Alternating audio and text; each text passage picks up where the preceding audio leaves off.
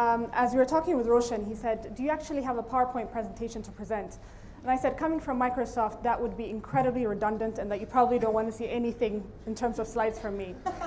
so on that note, uh, my name is Amrote Abdella. I'm the Director for Startup Engagement and Partnerships, uh, working specifically with our VC partners and our startups to really drive innovation in Africa.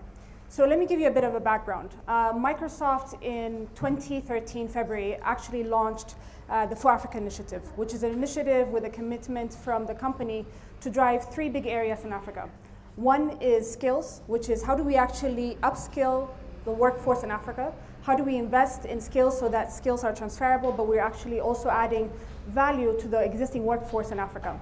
The second one is around innovation, which is how do we innovate? What do we need to do to actually drive startups, innovative ideas to come out of Africa, but to also gain a platform across Africa? The third piece is affordable access. So all of you I've seen have either smartphones, tablets, or laptops that you're working on. But how do we make those affordable? How do we make them accessible so that the guy down the street can actually also have access to content and information at all times? So those are the three big areas. Now, out of that, what I work on what I drive is the innovation piece. And by that, uh, it means literally driving a startup, which is how do you actually innovate within a company like Microsoft?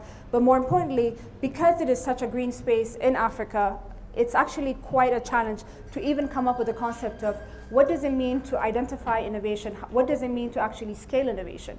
And I think earlier, as you were talking and introducing, you know, innovation and startups has become the sexy new word across Africa, right? Everyone wants to do innovation, everyone wants to talk about entrepreneurs and startups. But when you really look at the hard facts about what it takes to start a company, what it takes to drive a city like Nairobi to become an innovation hub, there's actually quite a lot that goes into it. So let me start off with one thing which I think was actually mentioned by the previous speaker. The first piece is around infrastructure, and this is both hard infrastructure and soft infrastructure. The hard infrastructure is what do you need to drive a hub like this one, like 88MPH, Nairobi Garage, NaiLab, MLab, iHub, what, what does it take to actually create a space? Is it just the four walls that's needed to actually get people to come in, or is actually, is there more that goes into it? So the first piece is connectivity, right? And the second piece is the mindset, which I think is really the, the soft infrastructure that's not really talked about. So for us, as we're thinking of innovation, you know, there are many cities that we can go and set up offices in, uh, and we do have offices across the country, but the continent. But when we are talking about innovation, there really are very few places that we invest heavily on. And that is our partnerships with hubs, accelerators, incubators across the continent. So for that, the way we're looking at it, innovation involves the mindset and the skills, but the mindset is really, if you're talking to an entrepreneur today, are they okay to take an idea, try it, fail at it, and then try it again.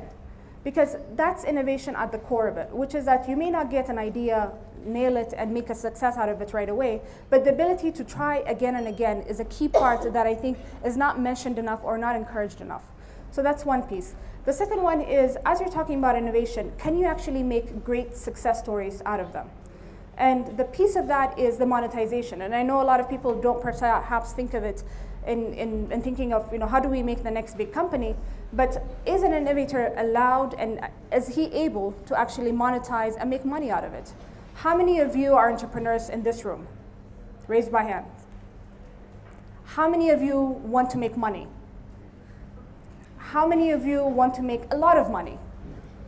Excellent. That includes me. But the, the, but the point is, there has to be an element both from a regulatory point of view, from an IP, intellectual property point of view, that allows you to monetize that idea. And so there's a piece of that we, that we as Microsoft are working on, which is how do we actually protect innovators so that your idea is great, it's great, it's solving a lot of problems, but you're also able to monetize on it and then move on to your next venture, which I think is the idea and, and the progress that we want to see. And that for us is a real mark of success as we're talking about, you know, what great ideas have come out of Kenya. M-Pesa is one that a lot of people talk about uh, from an innovation point of view, but should we not have more, right? And so there's an, there's an ability to scale, to go bigger, but also solve problems as you go along down the road.